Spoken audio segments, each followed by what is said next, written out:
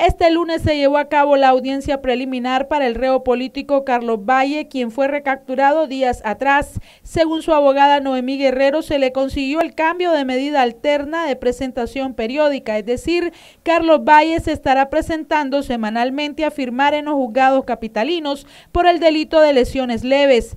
Bueno, ahorita que se hizo la audiencia preliminar, don Carlos Valle me manifestó que estuvo sin alimentación porque no le pasaban la comida. Es lo que denunció la hija Elsa Valle de que no le permitían entregar comida para su papá.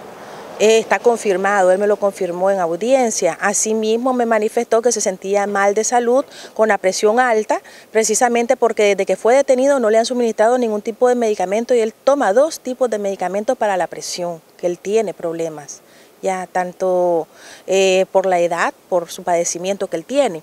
Y también, ¿verdad?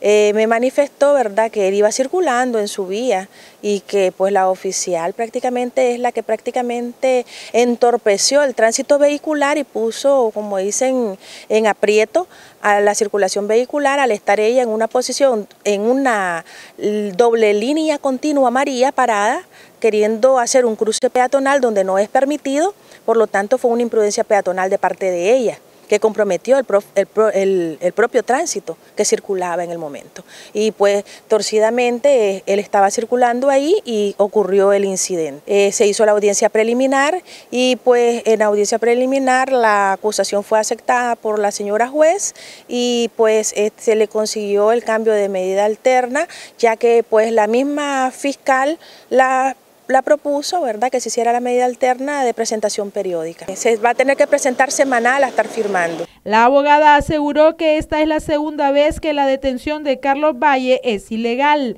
En cuanto, ¿verdad?, a la detención de él, también tiene que notarse lo anterior, que él fue un preso político que estuvo meses detenido sin ser puesto a la orden de un judicial, no hubo una acusación por parte de la Fiscalía, ni fue presentada ninguna acusación ante juez competente. A partir de ahí se denota la ilegalidad que él estuvo detenido más de las 48 horas que están establecidas constitucionalmente y aclaro y señalo ¿verdad? Quiero que quede eh, eh, acápite en eso, de que nadie puede ser detenido y posteriormente investigado, que es lo que está ocurriendo en el contexto actual.